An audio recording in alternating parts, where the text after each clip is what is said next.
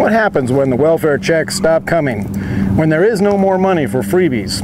When those who sponge off our tax dollars suddenly get no more free food, phones, tattoos, or diapers? Hmm, interesting situation we're facing.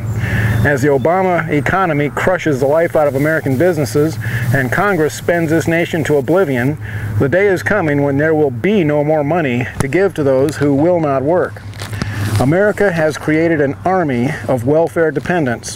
What will they do when the free money stops flowing? Well, they might all go out and get jobs. oh, I do crack myself up sometimes. No, unfortunately, history shows that the reaction of the entitlement zombies will probably be violent. We've seen American cities burned before, people dragged out of their cars and brutally beaten. A nationwide handout zombie riot would make previous riots look like child's play. The left has brainwashed many to believe that they are oppressed by the rich or by people of other skin colors.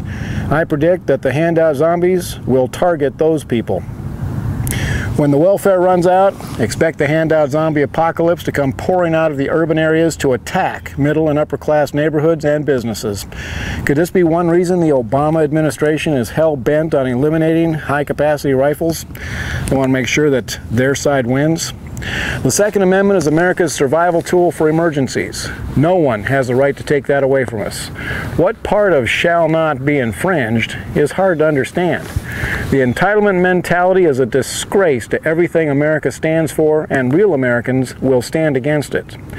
And if the handout zombie apocalypse happens, real Americans will stand ready to defend their homes, their families, and the businesses that they have worked so hard to build. That is the American way. This is Wild Bill for America. Thank you for watching, and God bless America again.